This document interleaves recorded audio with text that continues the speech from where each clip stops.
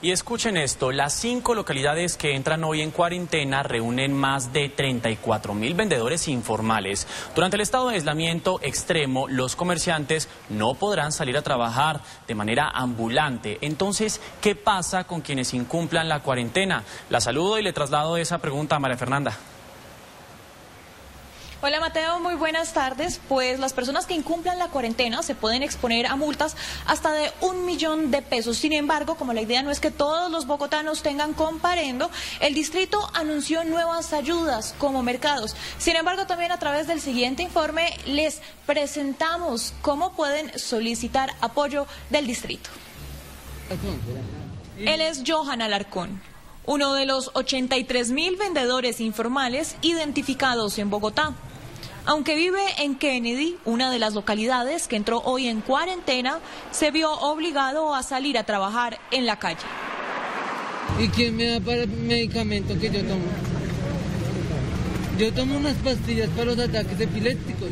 ¿Será que Clara López va a venir a decirme, no, venga, yo le voy a dar a usted las pastillas, yo le voy a dar a usted un mercado todos los meses. Pero ¿qué alternativa hay entonces para quienes se dedican a comercializar en la calle en tiempos de pandemia?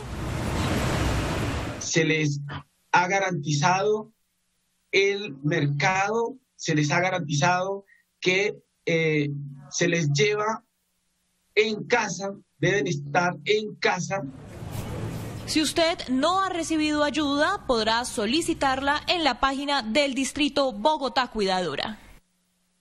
Entran, como de costumbre se ha hecho en las otras, a través de Bogotá Cuidadora, eh, expresan allí todas sus, sus inquietudes de necesidades que tengan en ese momento.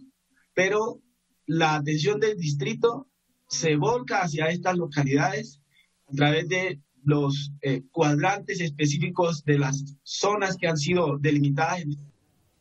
Y aunque Johan Alarcón pueda contar con un mercado, aún necesita dinero para sus medicamentos.